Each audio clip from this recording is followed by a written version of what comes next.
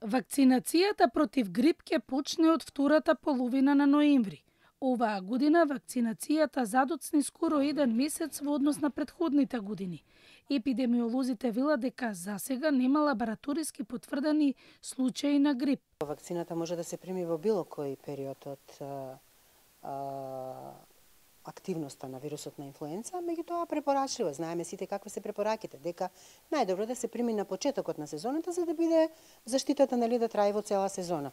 Иако често пати го кажуваме тоа, вакцинацијата може да се прими во било кој момент и до крајот на годината и во јануари, февруари и март, доколку се одмери дека ризикот за заболување е голем и треба да се прими вакцина.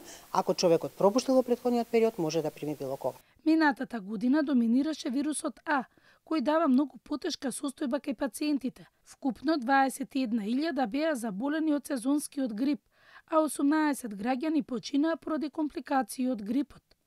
Докторите советуваат дека оваа вакцина може да ја примаат бебиња од 6 месечна возраст.